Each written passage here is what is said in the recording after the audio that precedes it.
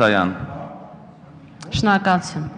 Քանի որ երեք այս մասին խոսելու հնարավորություն չեղավ եւ քանի որ այս դահլիճում մենք շատ ենք խոսում արդարության եւ խտրական, ոչ խտրական վերաբերունքի մասին, եւ ես ուզում եմ մեկ բան մենք հստակ ֆիքսենք։ Պարոն Միրզոյան, ի պատիվ ձեզ, ոչ երեկվա քննարկումները դուք կարողացել եք լինել երեք խմբակցությունների ԱԺ նախագահը, բայց թույլ տվեք ֆիքսենք, որ երեք ՍԴ դատավորների մասին օրենքի նախագծի քննարկման ժամանակ դուք հանդիսացաք միայն Իմ քայլը խմբակցության ազգային ժողովի նախագահը։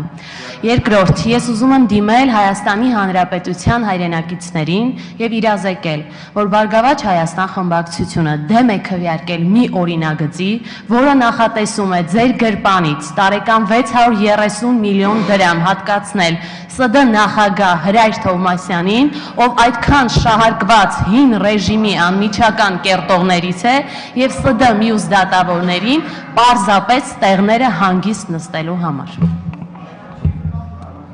Նիստը ավարտված